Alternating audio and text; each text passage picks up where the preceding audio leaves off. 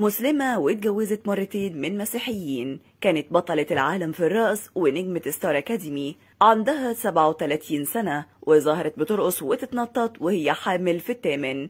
أبوها وأمها دكاترة وهي فاتحة أربع مدارس رقص في لبنان. حكاية الفنانة مايا نعمة.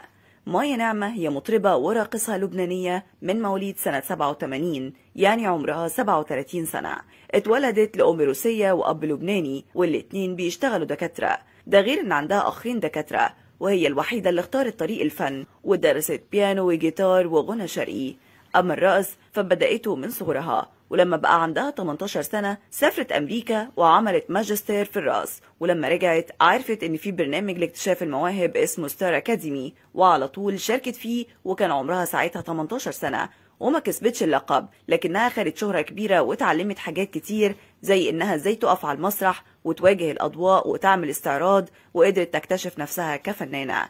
وسابت الغنى شوية واتجهت للرقص وعملت هي ووالدها مدرسة لتعليم الرقص في لبنان وطورتها مع الوقت وبقى ليها أربع فروع بتعلم كل أنواع الرقص من سن سنتين وعشر شهور لغاية سبعين سنة. وفي 2015 فازت مايا نعمة ببطولة العالم للرقص اللاتيني في ولاية ميامي الأمريكية. ورجعت تغني تاني وعملت خمس كليبات و11 أغنية وطلعت ترند فترة بسبب أغنيتها أنا باربي وكانت بتطلع في البرامج لابسة زي باربي وبتحاول توصل لنفس الشكل بتاعها. واتجوزت مايا للمرة الأولى في 2010 من الموزع الموسيقي وليد المسيح. بعد ما تعرفت عليه في ستار أكاديمي وساعدها في بدايتها الفنية كتير كمغنية لكنها تعرضت لانتقادات بسبب اختلاف ديانتهم فهي مسلمة وهو مسيحي وكتير شافوا إن جوازهم مصلحة مش أكتر لكنهم استمروا سبع سنين قبل ما يعلنوا انفصالهم في 2017 من غير ما يقولوا أي أسباب.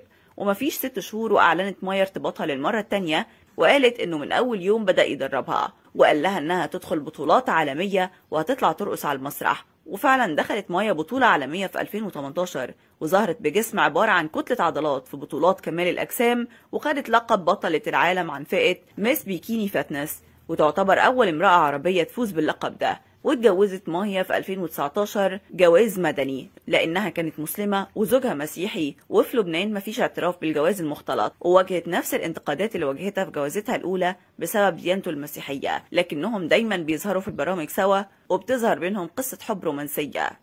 وفي مرة واجهتهم الإعلامية ربع الزيات مع شيخ وراهبة واتكلمت مايا عن تجربتها وقالت إنها سبق وعاشت نفس الموقف مع والدها المسلم ووالدتها المسيحية وتربت على فكرة إن الدين أخلاق ومعاملة وتسامح والشيخ قال لها إن أبوها وأمها ما غلطوش إنما هي في حكم الشرع الإسلامي جوازها باطل لأن الإسلام بيحرم جواز المسلمة من أي ديانة تانية. وطلب من جوزها إنه يقول الشهادة فقال له أشهد أن لا إله إلا الله وأن محمد رسول الله على الهوى. وبكده الشيخ قال له خلاص الراجل أسلم وجوازكم بقى شرعي. وقال جوز مايا إنها بتآمن بالله وهو بيؤمن بالله هو كمان ومش بنعصي ربنا أبدا.